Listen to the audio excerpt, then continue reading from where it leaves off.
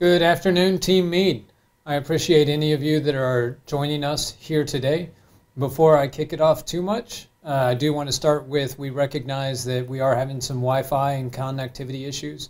So if the live stream is remotely choppy, whether in sound or video, just know that we are doing a recording that we will also end up posting tomorrow uh, on Facebook. So we will have a clean copy. Uh, if you want to bear with us today, uh, I wish you all the luck, and please post in the comments any questions that you may have.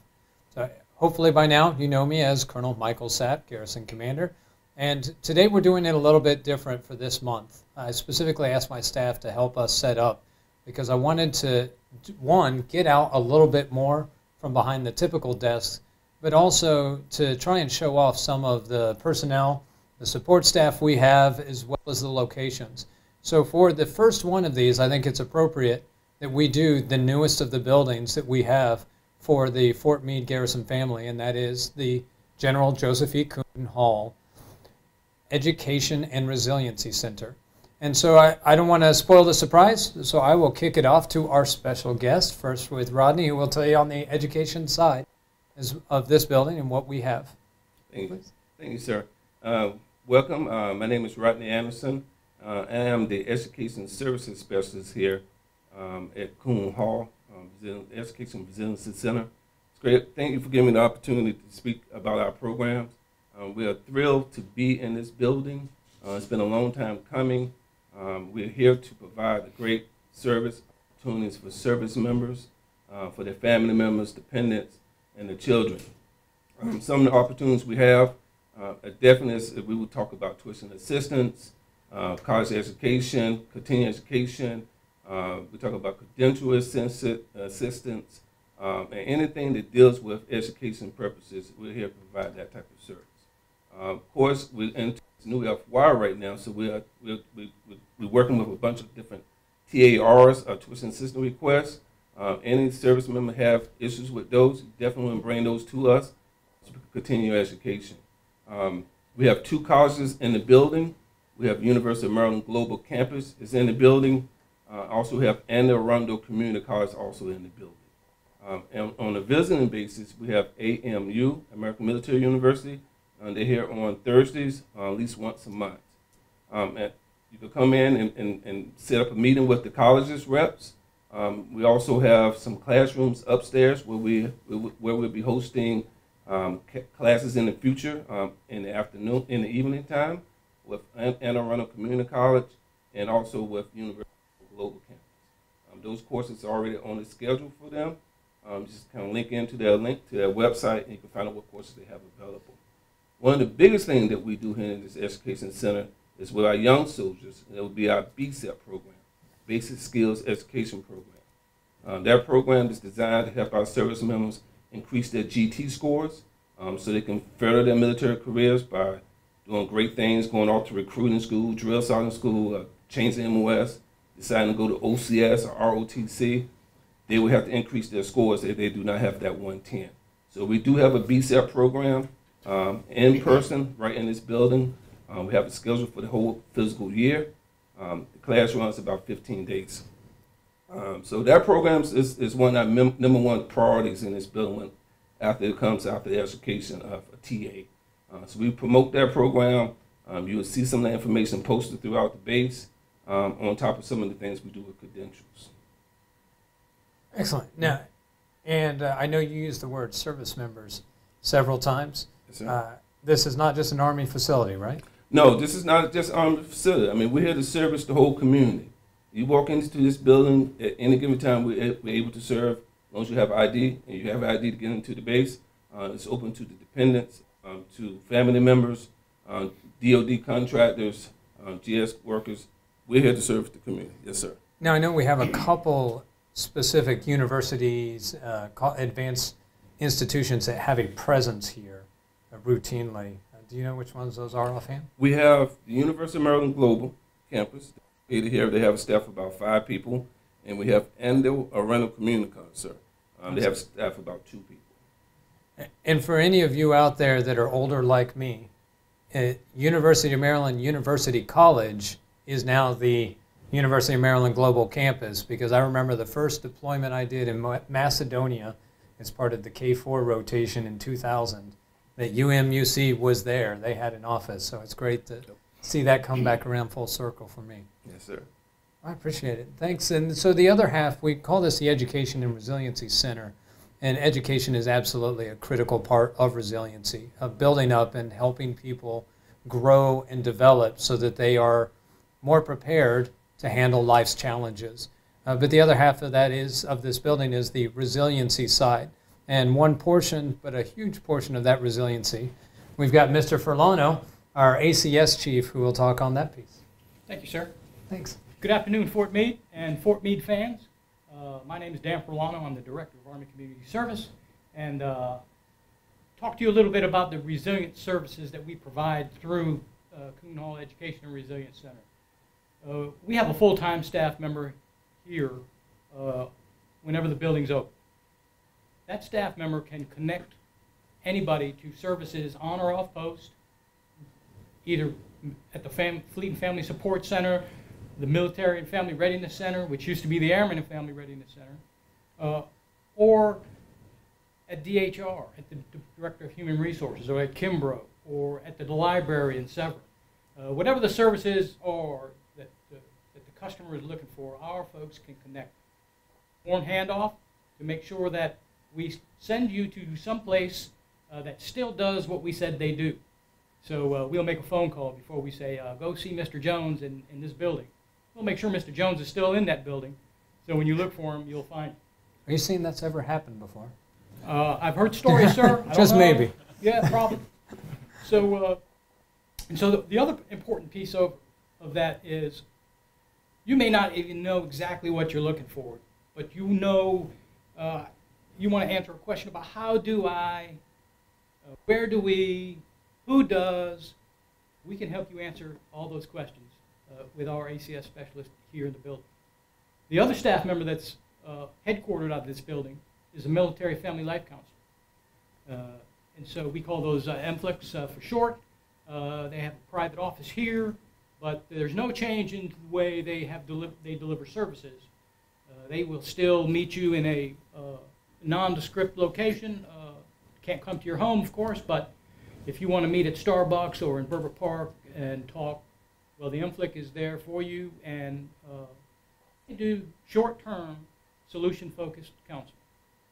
Uh, they do have a duty to warn, so uh, if anyone, uh, and they brief this duty uh, at the beginning of any encounter, so uh, if anyone says uh, anything about harming themselves or someone else, that of course will trigger the duty to warn. Other than that, there's no records, there's no notes, there's no institutional environment, just somebody to talk to to help you get through a solution to a particular problem. And so uh, we have two here at Fort Leonard Wood, I'm sorry, at uh, Fort Meade, and uh, uh, one is headquartered out of this building, the other is headquartered out of Family Advocacy. Now, what's important about having education and resilience together is that, as, as the Colonel mentioned, education is professional resilience, it's career resilience, but you do that through skill set. And so Army Community Service provides other skills, life skills, that help us address the rough spots in our life so that we can build those skills and therefore our challenges actually are less frequent and less severe because we have the tools to, to deal with those challenges, whether they be financial literacy, parenting skills, uh, healthy relationship skills, all those things are available uh, through ACS, and that us uh, thrive in situations rather than merely survive it. Okay, I got through it. Uh, there's actually resources to help us all thrive through that. And so uh, that go on here are, uh, there are there are classrooms available for people to uh, reserve, and they reserve it through the education services uh, technician. And uh, so if you have a unit, a soldier and family readiness group, a club or organization that wants to meet for trainings, classes, or uh, meetings, uh, there is space available to do that here. Uh, you just need to make the reservation. There's also a demonstration kitchen. So folks could actually come in and have cooking classes, or uh, a unit could have uh, training to teach service members how to how to prepare nutritional meals in the barracks. The other thing, it could support those other meetings, trainings, soldier family readiness groups. Now, the kitchen's a carry in and carry out. So everything you bring, got to leave with you. Uh, and so. uh, We don't but- want any mice in this no, building. No, Nope. no, sir. And uh, in fact, it's, uh, it's outfitted with, uh, with uh, tableware plates, flatware, uh, pots and pans. There's uh, two microwaves. There's a uh, full-size refrigerator. Uh, it's just a, it's just a great place. So uh, if you need a place to have a meeting, a training, or a class, uh, Kuhn Hall Education and Resilience Center is a great place to take advantage of. Uh, it's a beautiful spot, uh, and it's, a, it's I think it's going to be a great resource uh, for education and resilience uh, as we move fo- forward into the future. Well, and I appreciate you bringing up the kitchen. I was really worried you weren't going to say a thing about it. When and the reason that for those that know, it's fun, it is funny. Trust me. No, the reason it's funny is that this building is the uh, the result of 11 years worth of work and coordination. It's a result of over five million dollars worth of investment by external to DoD government, uh, personal, commercial, political resources that weren't Department of Defense. We were gifted the renovation of this building for the sake of education and resiliency, uh, which is a fascinating story. But as I got to be the lucky garrison commander who just happens to be here at the at the 11th year when we get to open it, what I found out time and again is despite the number of right you have that many years to decide what's going to go into such a building the kitchen is the only thing that was mentioned on day one that is still here on day 11 times 365 so uh, it would not uh, it would, this would not have been a successful encounter if we hadn't brought it up so i appreciate that and for on the off chance anyone we do have a live audience ish I say ish because it's a small group of five, but I and I really appreciate the attendance. Any barracks individuals? Okay, so uh, the reason I bring it up is I hear this flack from some of our single soldiers when I bring up the cooking kitchen because they still can't have hot plates in a lot of case. But it is part of the Army's plan to have cooktop counters in every barracks room. Now that's in FY 28 29. So that's a few years, and most of our single soldiers probably won't be single by that time. But uh, you can be excited that maybe your kids, when they uh, enlist and come here, that they'll have that opportunity and the classes to go with it. So thank you. I also want to give my personal um, support, I guess, to the IMFLEC uh, process. For those that haven't haven't used it, I'm also a fan of the Military One Source that you can call and say, hey, I need counseling. I need to talk to an expert. Military One Source is a phenomenal tool, and it's always there. It's uh, 800 number away. The MFLCs are the face to face version of that because sometimes it's not enough to talk to someone on a phone when you're in crisis that you need somebody you can talk to. The beauty is exactly what Mr. Furlano said. There's no notes, there's no record. So any, especially in our um, population that we have here, there's no no reports that end up on your SF86 because you've been receiving professional treatment. It's not treatment. It is a chance to talk to someone who has the education, the credentials, and the understanding and knowledge to just hear you out. And it's almost like an ER triage where they could say, nope, you need to talk to someone on a more consistent level. You need to engage differently. I can help you through this immediate near term issue but we can get you to the next level. Uh, but sometimes that's all we need is just to talk. And based on whether it's the jobs that we have that people don't understand, uh, single service members, if you're living in the barracks and you're not even allowed to have an animal to talk to in the afternoon, it's just someone else that you can connect with that can hear you out. The last point when we talk resiliency is the idea that I grew up where resiliency meant the ability to bounce back. That's a great quick catchphrase, right? You take the hit, you get knocked down, that's okay, you jump right back up. But there's another aspect that you mentioned that made me think of this. It's not just the bounce back, it's be able to dodge left and right so you never get hit in the first place. Right. And that's that preparation. But if you don't invest now into financial management, parenting classes, when the kid has been screaming for the last four hours and you don't know what to do, it's already too late. Sometimes we've got to put that work in ahead of time to create the resiliency that allows us to operate at our optimal method. Right. We don't want to, we don't want our resilience tanks to be uh, emptied out too quickly. Right, because uh, that's and that's what happens when we find ourselves at wits end. So the other thing that's unique about Kuhn Hall, before I go into some other more generic um, Fort Meade topics that we wanted to hit, is as I mentioned the fundraising and support. So what you see behind me, camera, although it wasn't intentional, it just works out because this really is the best angle in the room. But that's our sponsorship wall, and it's not every day that you get to go into a government facility and see a sponsor wall. But why this is relevant is that I think it's really important to remember that uh, a lot of these are part of the Fort Meade Alliance. They have they gathered a lot of the effort that goes into this, but they weren't truly alone because no one's part of just one group. Uh, they they connected a lot of resources, and so there are kiosks. If you haven't seen them, there's at least one in the PX. There are about a dozen total that are scattered about. We have one over at Denfos, but it's just a large touchscreen for resources. There is one in here that's more of a desktop size touchscreen for the same thing. Not everybody wants to engage a human being when they need something. My son gets online far quicker than he talks to us when he needs help.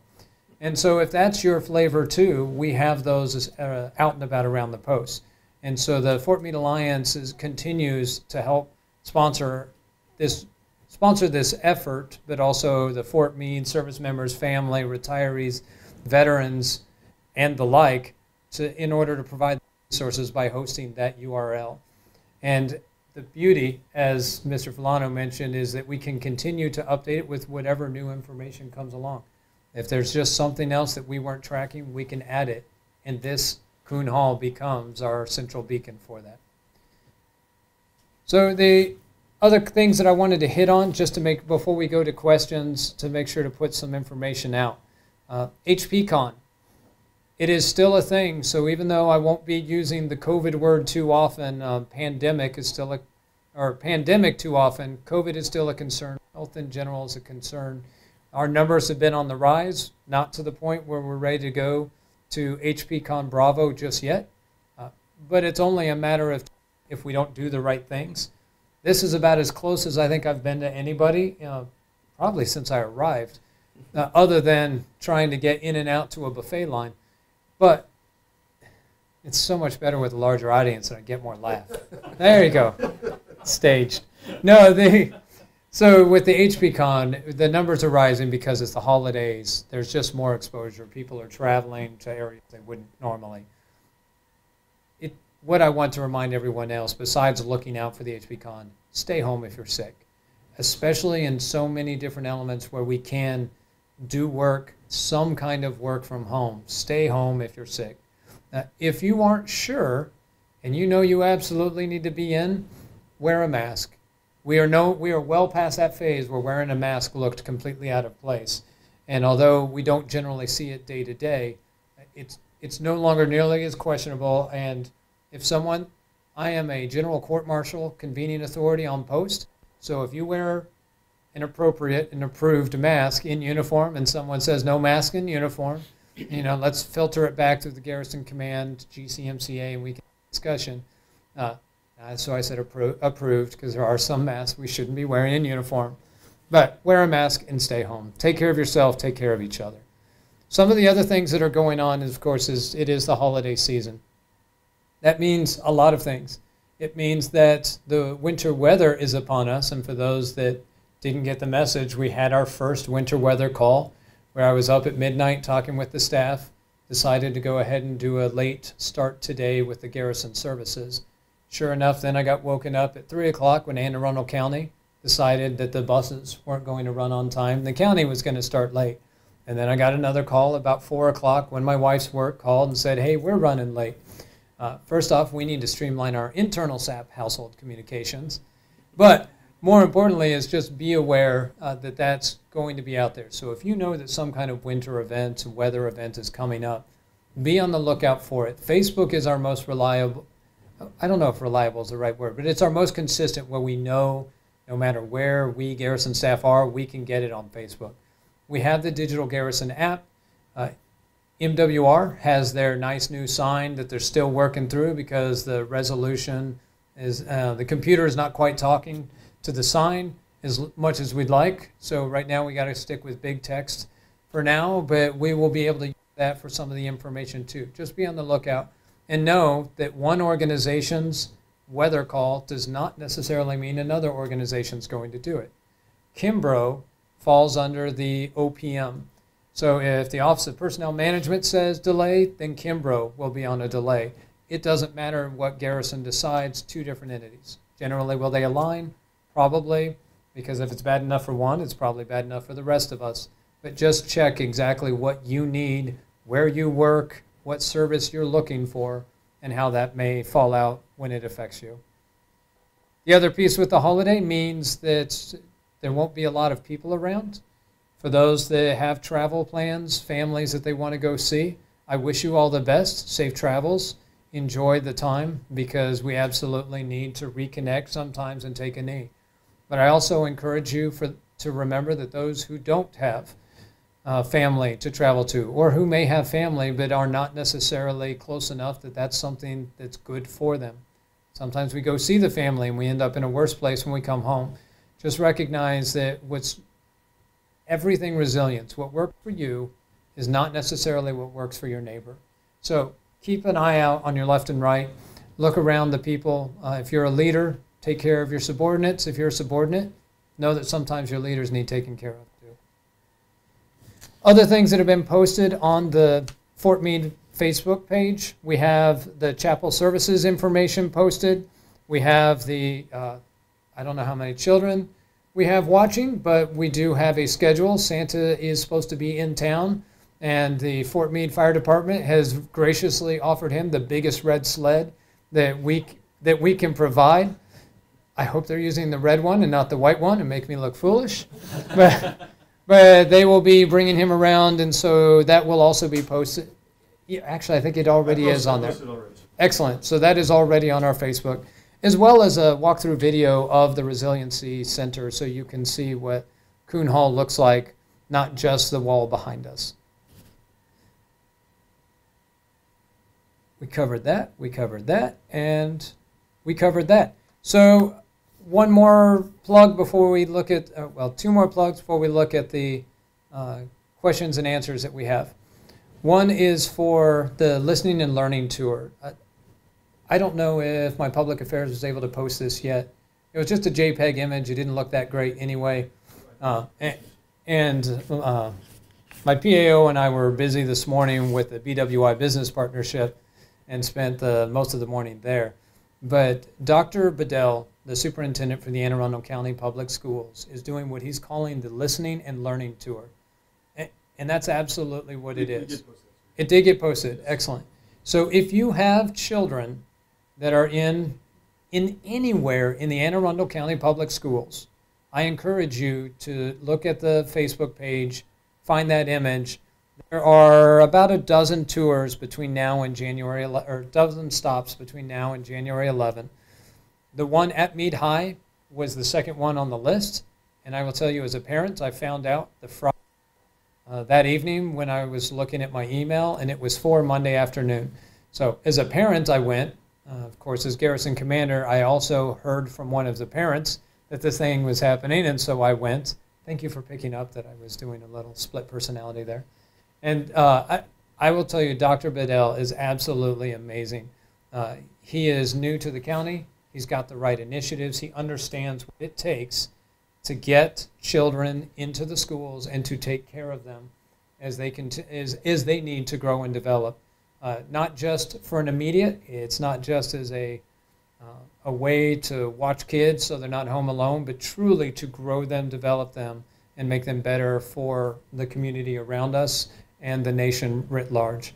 So he is open. He will give you his vision if you attend these, and then he leaves a lot of time where they break out into small groups, five to six people. There's both staff from the county, the, the local schools, as well as parents, and they want to hear what you have to say. So I encourage you to attend that. The other is to understand the uh, the retiree council. So I throw it out there because it is one of many ways. As I've said early on, connections is going to be a huge part of where I go for the next two years. Some of it's reestablishing connections. Some of it is recognizing that while we may have connections like a uh, like a line and block chart, I want to create connections like a spider web, and not like one of those nice, pretty spider webs. It still has a lot of points, but I'm talking the orb that sits in the tree, and you can't tell what's touching what because they're all a mesh working together. And that's where I think we need to be. So as I look at my consideration, my caring in the community, that's what I want to do. The Retiree Council is one of those opportunities that I have.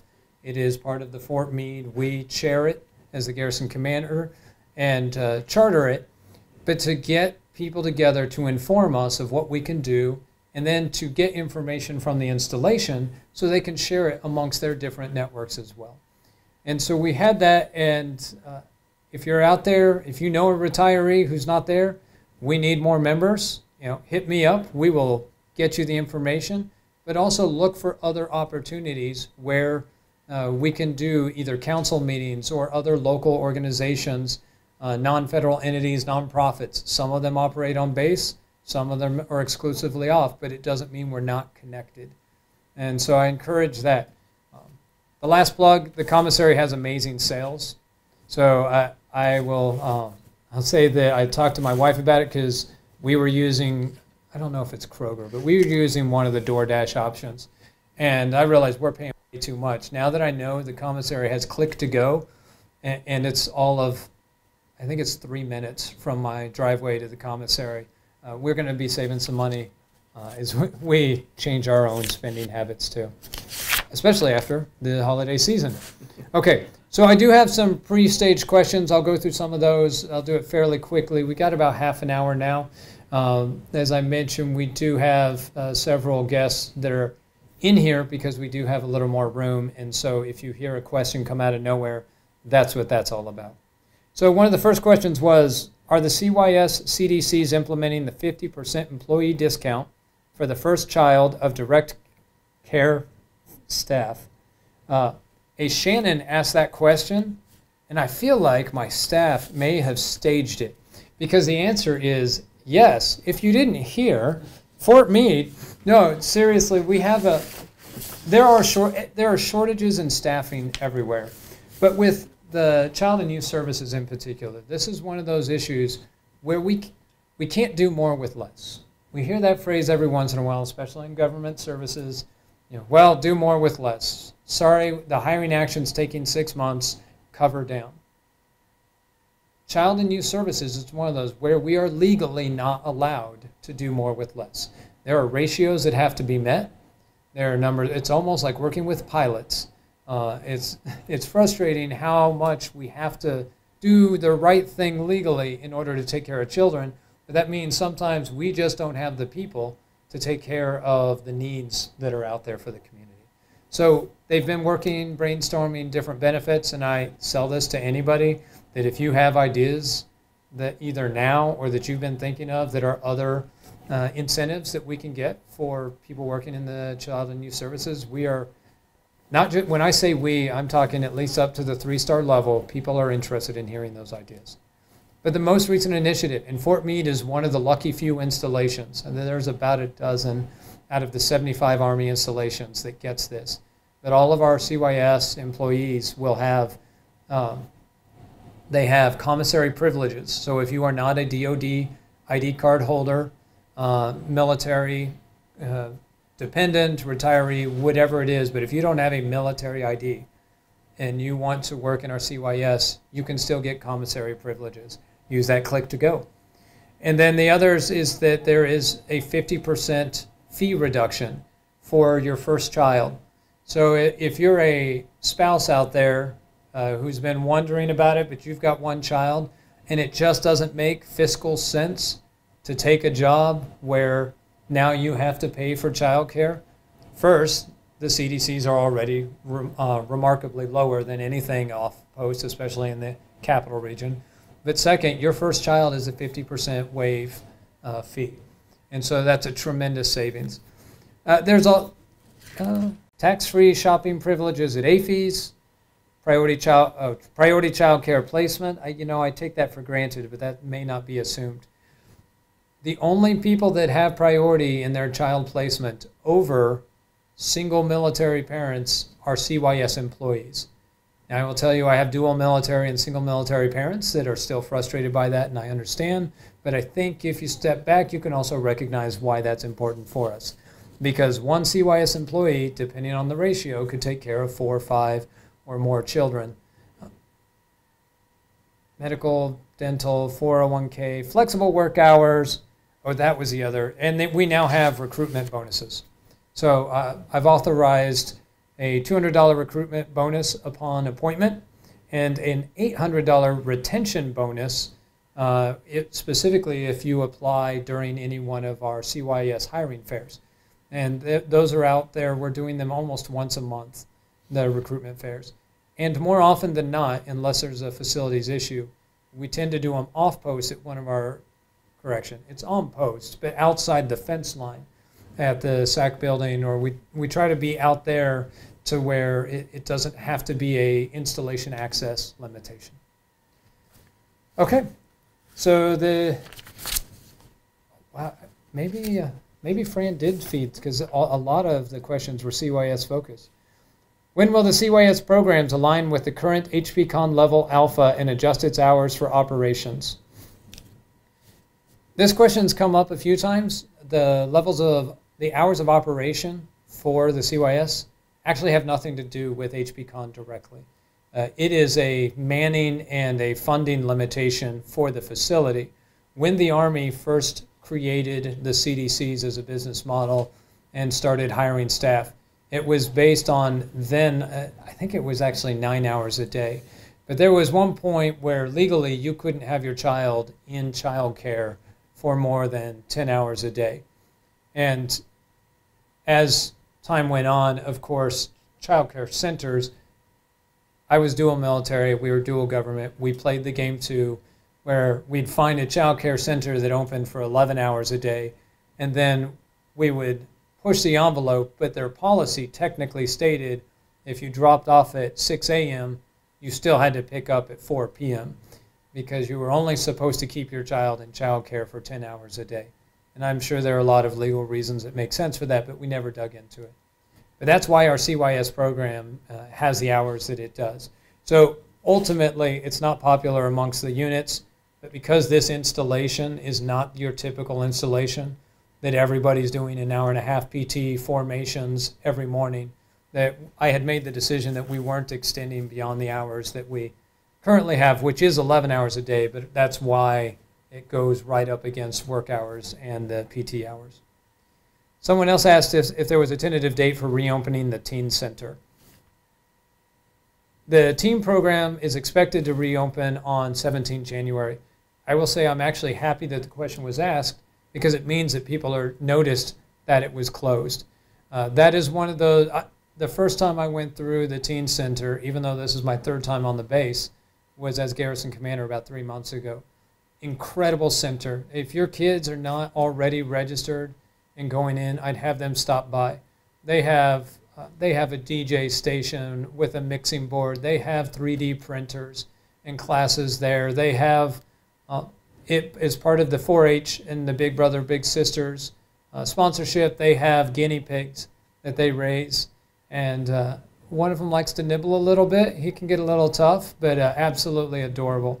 So. It, if you have teens, I encourage them to get out there and check it out because the more throughput we have, the more we justify the expenses of keeping it open. But the reason we did have to close was staffing.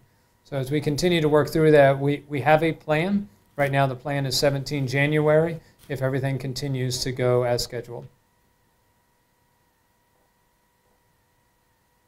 Uh, okay, so we got a few others, but I do want to make sure we open it up to some of the people in here. If anybody's got a question already staged? You knew you were coming, so probably at least one or two. Please, our uh, tech sergeant. Yeah. We got a question. Uh, so mine's regarding uh, potholes uh, and sidewalks, um, and just wondering if, you, if there is a plan going forward for a particular third cavalry road, 29th Division uh, road, so it's the very edge, midway Right.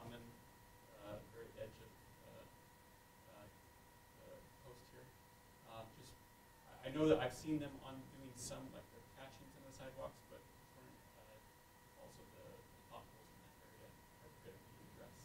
So, And I'm looking at, f- well, I'm looking first to make sure, did you write down the address by chance? yeah, the whole, Third and 20, yeah, okay. about a half mile stretch on the road. I had to wear this uniform for the breakfast engagement, and I don't have my pen pocket, so I cut you caught me short. But the, oh, okay, thank you. Uh, so the the first part, uh, without knowing the exact spot, I suspect based on your description that it is part of the housing area. That's one of the fascinating things, right? Is who, who gets to take care of which pieces of the road and sidewalk. There, it's part of. We are in. It's part of. Uh, 2022, and I don't remember if it was fiscal year or calendar year, but as as part of the past six months, Corvias did have a plan, and they had three steps of where they were knocking those out, and they said that they were going to complete by the end of December. What I don't know, and I can get back with Corvias, and, and there may be a rep from Housing or Corvias Online who's posting this on Facebook. That is the disadvantage to being in person, is you don't see it. But is that uh, if they were ones that appeared after they had made the plan, then it actually ends up getting rolled up into the follow-on years uh, work. So I, we can look into it specifically, and we can actually get you a detailed answer. But know that yes, it, Corvias had a plan. They have achieved, or they're on track to achieve the plan by the end of the calendar year. If it wasn't part of it and it's something that can be patched, they can do that sooner. Uh, one of the things that I, in fact, just learned last week is when it comes to roads, apparently there's only about a two or four year lifespan of a road that you can patch it before it does nothing, and then you have to start subsurface. I think I remember the right term. Before you have to go to the subsurface and then clear that out, like we did on Mapes Road, and then that gets you about another five to ten years before you have to, whatever that next level is. So, uh, yes, we will check in on the specific one. I appreciate it. Behind you? Yes, ma'am. I I actually posted this on Facebook as well. Uh, During the summer, the question of the RCP had come up, um, the Energy Conservation Program for housing. Um, There have been some suggestions that it was going to be reinstated, uh, and the suggestion was that it was going to be soon with no follow-on date. We've been told that we would be getting like periodic updates on that as military housing tenants. Um, do you have anything that you can put out? Are there any updates, or is there somewhere that as residents we can go to get updates on that? Or is it kind of just we're gonna find out through the mail that they're reinstated? Okay, I want to check and make sure I'm understanding the right one. You're are you talking about the u- the utility payments or Yes, so it's, okay. it's part of the R, RUCP, the Resident Energy Conservation Program, and they suspended it a few years ago. right? And it sounds weird eh, because when I hear conservation, I know why they call it that. Yeah. Uh, Right, it's about the utility payments and when they take the averages. So as my my army housing chief reminds me that when that was first instituted, they actually saw that the energy use reduced. I think she said as much as 15%. Um, but it, it was above 10% reduction once, essentially once renters had to pay or even had the chance of having to pay uh, utilities. It did result in conservation. That may be the intent. But as far as when it goes into action, we had a discussion. Today's Thursday. I was on Monday or Tuesday. Um, that I was meeting with Corvias, and, and there's still no date of when that goes in, and that's because it's ultimately not even a local Corvias decision. It is a broader privatized housing uh, concern. But as far as how you get notified, that's a good point because you want you want to know, you want to be able to react. So I'll put on my my green hat and say it shouldn't matter. You should be trying to save electricity all you can. Now, I'll put on my renter hat and go, no, I want to know if there's a chance I have to pay out of pocket for something so I can adjust as needed. And uh, from that regards, I do I cannot imagine a scenario where you, you don't have at least a month notice where hey, this month is the last free month and then next month will be the first time we charge. So as far as getting the word out, flyer, email, if you're not on the Corvias distro, Uh, we had a little bit of an argument in the Sapp household because uh, my email, I almost said it out loud, uh, that's which is probably not the greatest idea. My my personal email is the one that Corvias has because I did all the paperwork. I don't read my personal email, and so my wife got upset when she said Corvias wasn't sending any updates, and I realized, oh, because I've been getting them for the last two months, three months. Uh, so I would say if you're not getting Corvias updates, please make sure that the through their local centers that they have that. Uh, the Fort Meade Facebook page will give it. I love the page because everybody can get to Facebook, even if it's for us older folks and not everybody's using Facebook anymore. You can still get to it. What I don't like about Facebook is that it decides how things are prioritized. So it may be the most important thing to you, but you don't see it when you look at ours, even if we posted it two hours ago. So what I will say is it's one of those that when we get it out there, we will tag Corvias's page and then we can actually uh, pin it to make it a favorite post for a while because that'll be a, it'll be a significant change. Okay? And hold me to it. If you somehow find out in less than a month, hold me to that. She's like- to say that.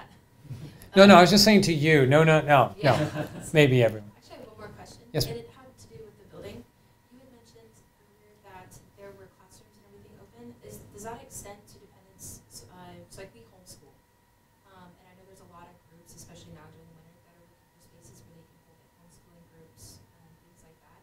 Is that something, is that a group that could reserve the rooms in the kitchen?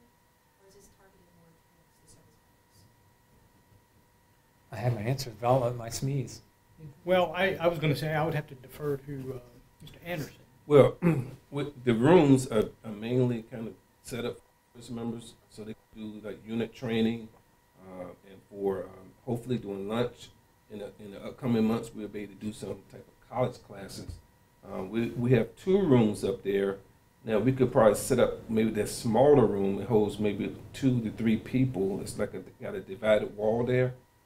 It's possibility of something like that, but the room, the bigger room that holds up to 18 people, that room is really designed for those type of meetings with units and training and this type of thing. Um, we do have in our B cell room, it's going to be we're we're shooting to have that room reserved for 15 working days every month because that's designed for the service members. Um, and that so it's it could be some possibilities, but it just it's one of those things where uh, first come first serve, and definitely would be for the service members to set it up for that. To give more insight, as we talked about some of the 11 years worth of discussions, that actually at one point was one of the priorities. And there was, while I was a battalion commander, it was at Fort Gordon, Georgia.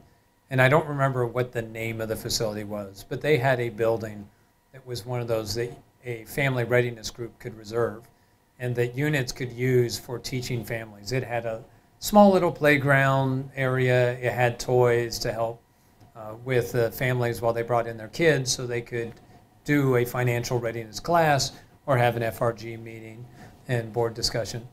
And I know that that, had, that kind of concept had also been discussed here. Ultimately, as a space utilization, was part of the limiting factor of why they didn't go there. Uh, the prioritization of yes, so it needs to be a military, uh, military priority. So we don't want to advertise it's open to everyone because in the end it would be a lot of disappointed people. And, and then the third factor was ultimately we put so much in here. Now it's not a good facility to use as an overnight. It, because the one that I had seen at Fort Gordon, that's all it was, was essentially an empty building with some pamphlets that you would give someone the keys on Thursday afternoon and say, okay, Friday morning, bring it back. Because we put so much level into this, we don't, we can't just sign out a key overnight. So we are working with, there's, um, in fact, it was at the retiree council a couple weeks ago, this came up, because there are employees, there are still federal employees who are also retirees, or we have um, retirees who are Red Cross volunteers. And so that was one of the ideas. Um, fact, I don't think I brought it up yet to either one of you when this came up. But uh, those were, someone had asked, well, if we had a vetted volunteers where we know these four people could we use those volunteers in place of a government civilian being the facilities manager at that time? And I think there is opportunity for there. We just haven't worked it into the SOP yet. Uh-huh. To add that, uh, there's a response from the Fort Meade Post Library, uh, that, um, you, you are aware of that? Yes. The library has a resource that can provide that service. as well as the community centers. I was just interested because that was, uh, when you had brought it up, uh, it was really interesting that you have like the kitchen and things like that, which would be convenient. Uh, But I totally understand the priority. Yep. concerns. And the other good idea, I don't know if it's a good idea, but I think it is, that I'm is working with the USO and the likes to find, as an example, the Post Theater, where it's, and this has come up a couple times, but where it's not showing Maverick and um, it's been so long since I've been to the movies. I don't even know what's out right now, but uh, I need weekends back. But it's one of those that it's not showing the latest and greatest blockbuster that we have to charge 16 bucks a ticket for an old version of a theater, but that where we can do more family-oriented events and uh, especially we have a large homeschool population on this base, and so to give just an opportunity that uh, we could find the potential uh, revenue streams to match with uh, the support that could make that a volunteer option. Okay. Anyone else in the, in the galley? While you're thinking of your questions, uh, one of the questions came up from Dylan. When will the indoor basketball courts in Murphy Fieldhouse open back up? Uh, answer: We'll post an Facebook page. There you go, guys. No, for those that now I'm going to give an answer, and we'll see if how close it is to the Facebook answer from the, the reps who have been dealing with this for many more years. One of the advantages of Murphy Fieldhouse is is the idea of how it is this open court concept.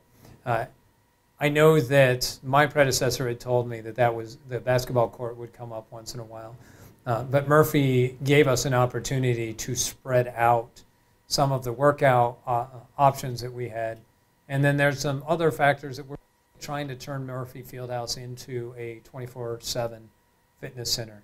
So. You know, I guess I'm not going to give an answer specifically to the basketball court because there are nuances that could play in. But that's the longer term vision that we would like to get Murphy Fieldhouse to a 24 7 workout. So then it's about the prioritization of space.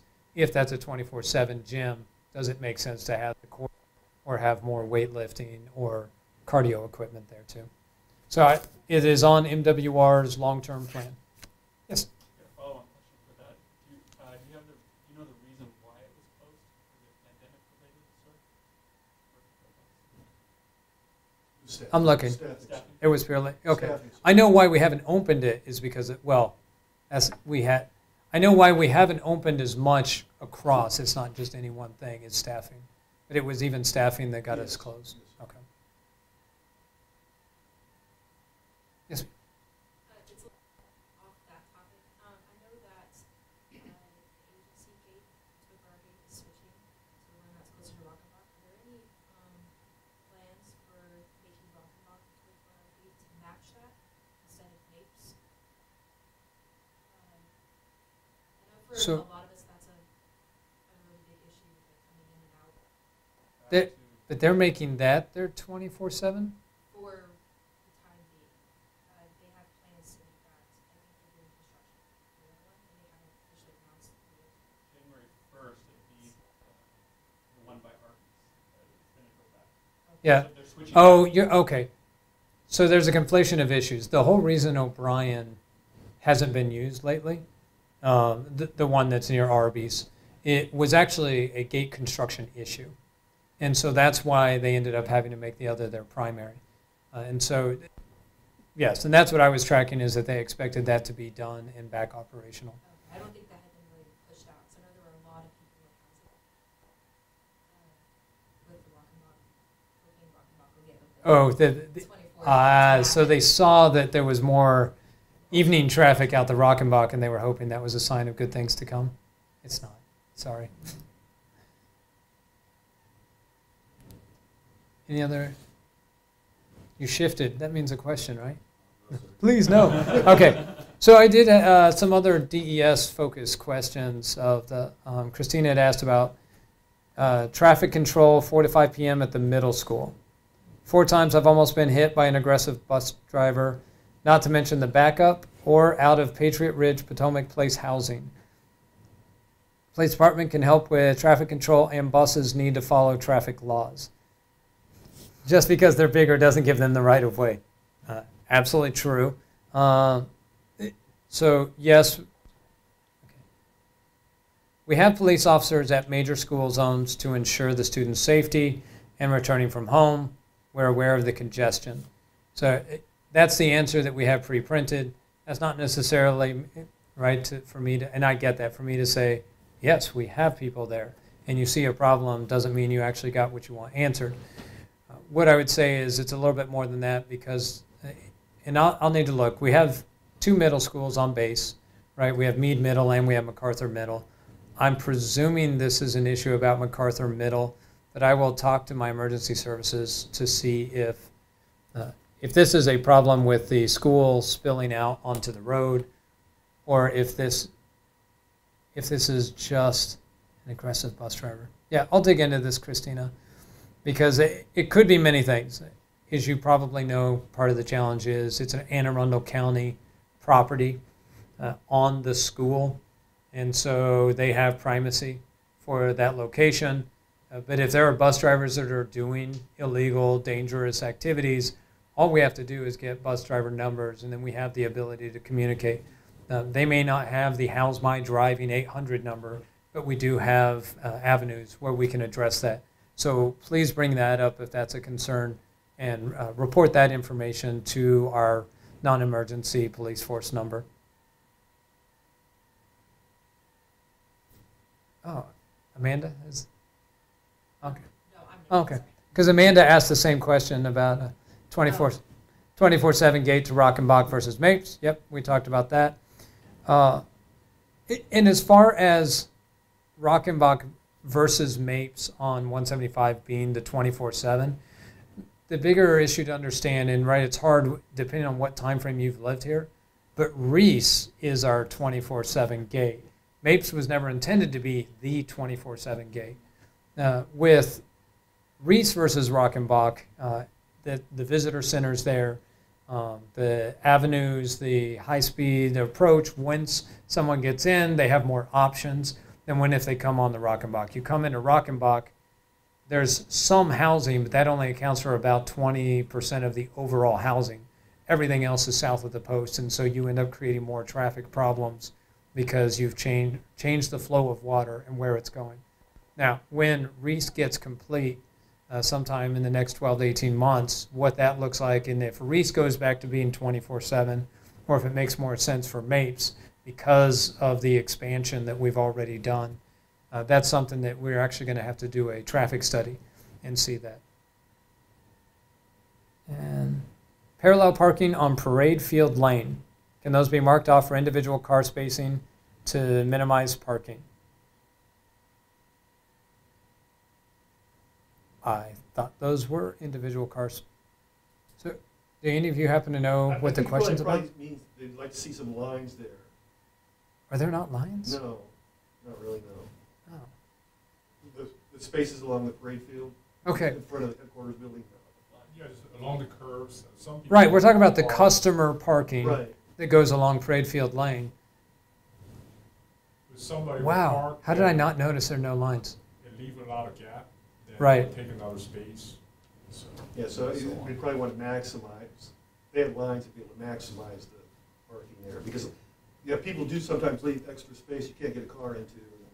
No, that's a good point. So I, I asked uh, I, when one of the first things I got because we have, and the question didn't come up in this form per se about this, but it comes up a lot in our ICE comments, is a concern about that parking because building 4550 is meant to be a customer service building uh, oriented. It's got the recruiting command in there. We have, but we have the one-stop shop where everybody's coming through it in process, out process, and there are other factors that's used. So that's one battle that I've been having is making sure our employees understand why we don't park in that lane. I mean, if there are handicap exceptions, uh, we definitely entertain that. But for the most part, we're pushing people to park towards the post office parking lot and on this side of the road to free those up for customers. When I had that discussion with our resource manager, I found out that there was a study done in how they could optimize those parking spaces over the years. So I hadn't asked the question about lanes specifically. So I will say first, I will go back uh, to my resource manager and ask the question if that was a deliberate, because it's like Southwest. Sometimes just letting the flow go actually ends up creating more efficiencies than trying to establish the procedure. But if it wasn't a deliberate decision, then the next step is is that part of our repainting effort that we have scheduled to do in this year? And this year being the fiscal year, not the calendar year, so nine months from now. Okay. And that was also from Amanda. Thank you. Any other questions on uh, Facebook?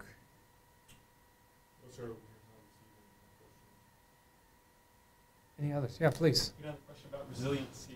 Uh, that's the, especially the services here, um, that's for all ser, all, uh, service members, Air Force, anyone who come here to receive, uh, like resiliency type services. Is that what it's intended for? Or is it just the Army, um, R two, uh, program that usually, uh, folks that are I feel like You have yeah. answered that before, I. Almost feel like that was a staged question too, because one, I can answer it, and two, it's exactly the talking point we want to reemphasize.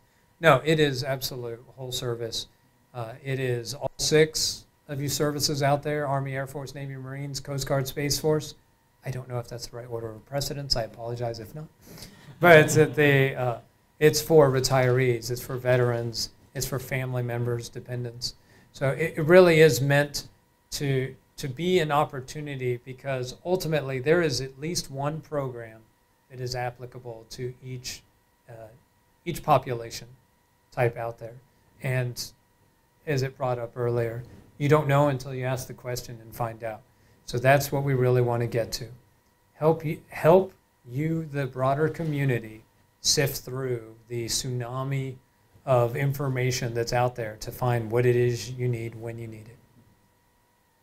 I'll take one more. Yep, and then we'll With the influx, is that, are they able to, uh, make like binding referrals, or is that more of just like you suggest you go and seek out mental health? Or are they able to actually connect you directly with the, the, the mental health professional? That's a great question. Uh, And the, the answer is they can't always make binding referrals. Uh, If it's uh, not uh, a matter of crisis, uh, they, they don't make binding referrals. If it's a matter of crisis, then, uh, then they can uh, do something uh, a little stronger with that. But one of the things they can't do, uh, which for some is an advantage, is they can't tell your command that you need to command refer someone. Which, right, to some that's an advantage unless it is a threat to life or threat to self or others. But for commanders, of course, it's a little frustrating. But the key thing I would say, if there's any leaders that get frustrated when they hear that, recognize better to get the help they need uh, than to wait until we have a bigger problem. So uh, I appreciate everybody's time. We hit the magical hour, and I, I thank you out there if you happen to dial in. I don't know how, I can't wait to see how good the connection was for my own loved ones. We're gonna be posting We'll be posting it tomorrow. So for those that had no clue because you waited till tomorrow to read it, uh, everything went or watch it. Everything went fine.